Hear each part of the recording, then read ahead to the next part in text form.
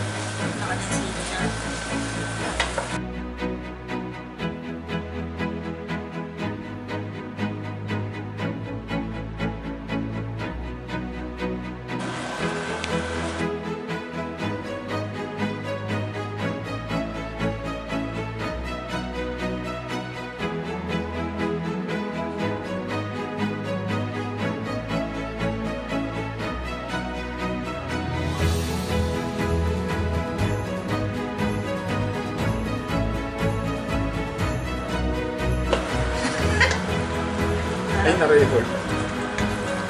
Tapos, lalagyan ko ng buo